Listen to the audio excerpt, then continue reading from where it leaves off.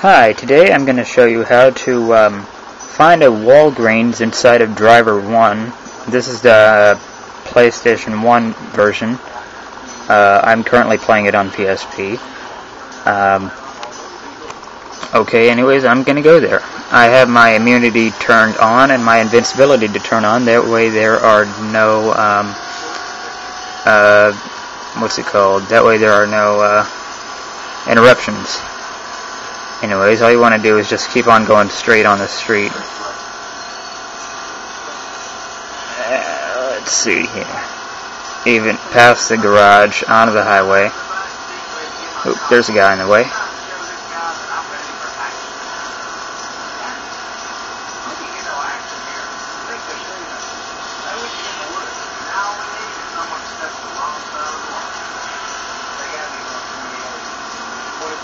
Okay, now that we're at the end of the highway, okay, there's one block here,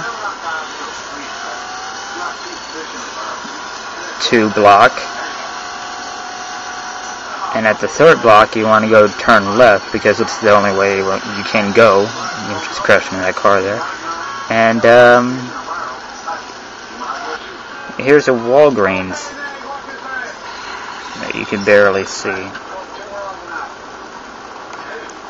So, uh, yeah, please like and comment on this video and subscribe. Thank you.